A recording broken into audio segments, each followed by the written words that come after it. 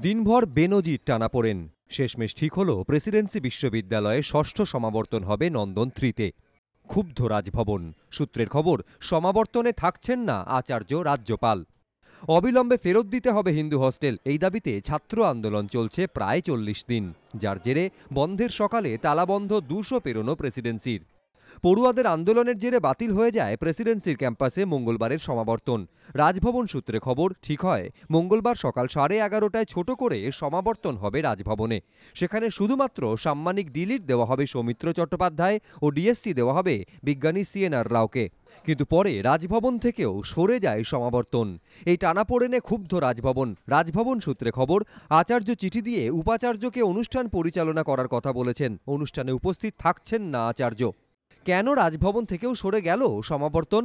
রাজভবন সূত্রে খবর, রাজভবনে অনুষ্ঠান করার জন্য মৌখিকভাবে প্রস্তাব দেয় বিশ্ববিদ্যালয় কর্তৃপক্ষই, কিন্তু সন্ধ্যের পর পর্যন্ত কোনো লিখিত আবেদন করা হয়নি। তাই রাতে রাজভবন জানিয়ে দেয়, সমাবর্তন সেখানে হবে না।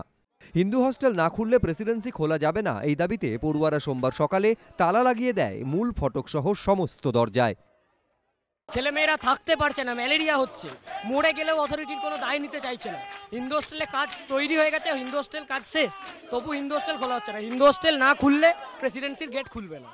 প্রেসিডেন্সি সকল ছাত্রছাত্রী ঐক্যবদ্ধভাবে এই আন্দোলন চালিয়ে যাচ্ছে এবং তারা যতক্ষণ না হিন্দু হোস্টেল পাওয়া যাচ্ছে ততক্ষণ অবধি আন্দোলন চালিয়ে যাবে। গেটে আটকে পড়ে ফিরে যান উপাচার্য অধ্যাপক আধিকারিক থেকে শিক্ষাকর্মীরা। ছাত্র ছাত্রীরা যারা আছেন তারা পুরোপুরি গেট বন্ধ করে দিয়েছেন। সেটি আমরা দেখতে পাচ্ছি। স্বয়ং উপাচার্য গেটের সামনে এসেছেন এবং পুরো তালা দিয়ে দেওয়া হয়েছে গেটে এখানে যে আমরা দেখতে পাচ্ছি তালা দিয়ে দেওয়া হয়েছে ক্লোজড বলে এর করে দেওয়া হয়েছে। এবং এই শুধু গেট নয় অন্যান্য যে গেট সেই গেটও পর্যন্ত বন্ধ করে দেওয়া হয়েছে। ক্যাম্পাস ছাড়ার আগে উপাচার্য জানিয়ে দেন ছাত্রদের আন্দোলন অনৈতিক। যতদিন না গেট খুলছে ক্লাস নেবেন না শিক্ষকরা। কিছু ছেলে মেয়ে মিলে হাতে নিয়ে নেবে সব কিছু দিস ইজ নট রাইট এটা আনলফুল কি করার আছে আমি কোনো দিন পুলিশ নিয়ে ঢুকবো না। আমি কোনো দিন ধাক্কা দিয়ে ঢুকবো না।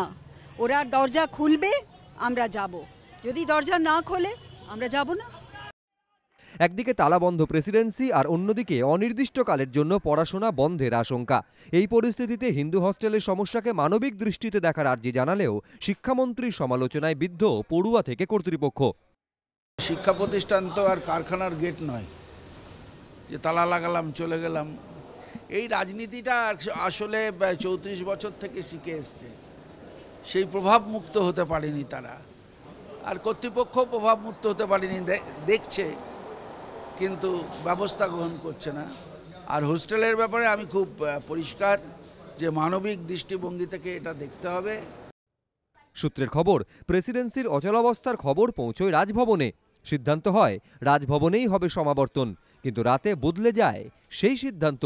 প্রেসিডেন্সির সমাবর্তন হবে নন্দন থ্রিতে। কৃষ্ণেন্দু অধিকারী এবিপি আনন্দ, কলকাতা।